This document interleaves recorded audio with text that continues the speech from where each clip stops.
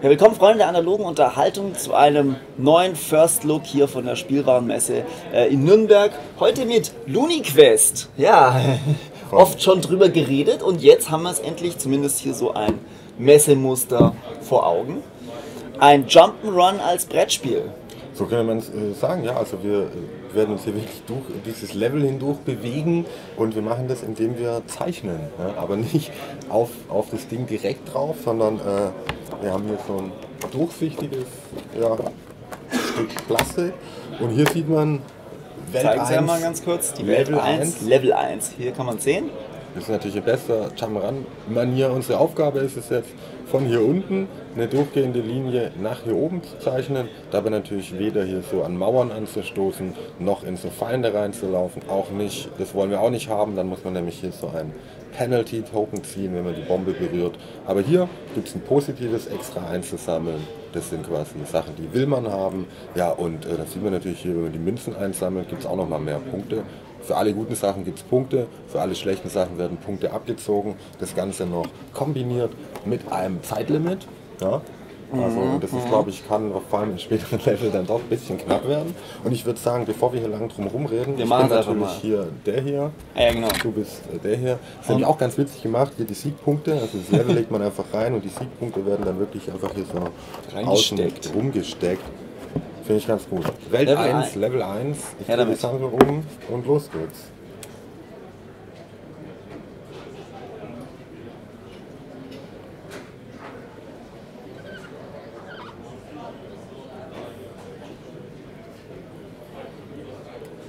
Okay. Ja, Zeit haben wir gut, gut gemeistert. Ja, das ist natürlich auch das erste Level. Das Erstes Level, ja. erste Welt, muss man ja sagen. Ja. So, ich habe jetzt, als man sieht, ne, kann man sehen, irgendwie, ich habe es so gemalt. Ja, leg mal drauf. So. Dann sehen wir nämlich gleich. Mir zeigen. Dann ist blendet. So. so, kann man sehen. Das ist Hunter Level 1.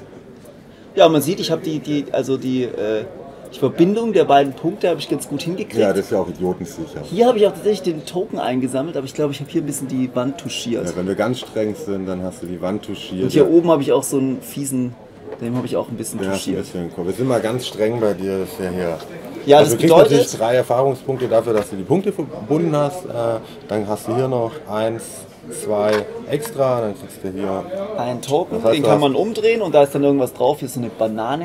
Gesagt, ich weiß noch nicht, was das heißt, diese fünf, Banane. Verlierst aber drei wieder, also hast du nur zwei. Aber jetzt will ich auch mal gucken. Ja, was, was hast du denn gemacht? Was ja? ich da fabriziert habe. Ui, meisterlich. Ja, aber zielstrebig in den Herrn hier rein. Nochmal gucken.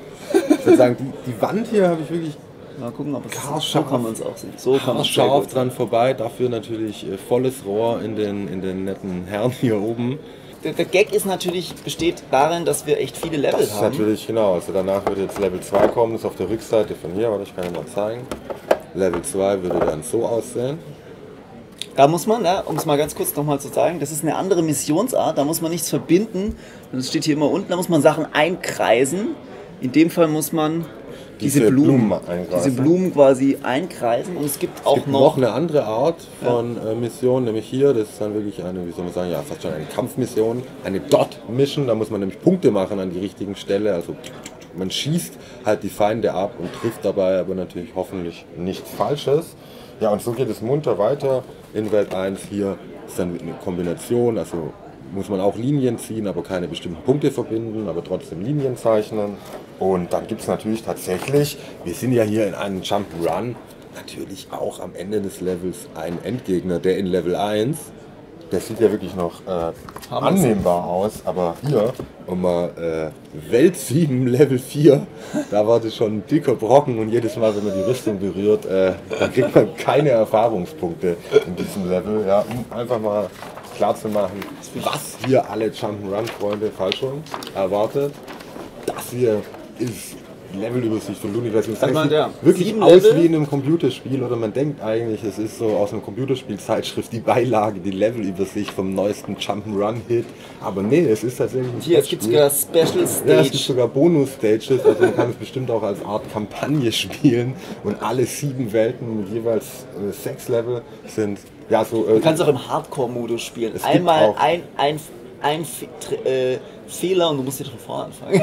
Ja, aber es gibt, glaube ich, schon verschiedene Schwierigkeitsgrade tatsächlich. Mhm. Äh, weiß gar nicht mehr genau, wie der Unterschied da ist. Es eignet sich natürlich als Kinderspiel auch und als Familienspiel. Also ich finde Übrigens äh, auch sehr schön auf der Rückseite von die, der Rückseite zur Übersicht ist einfach ein Poster. ich finde es jetzt schon saucool und äh, freue mich da wirklich drauf, wenn das dann auf Deutsch endlich äh, demnächst erscheint. Luniquest.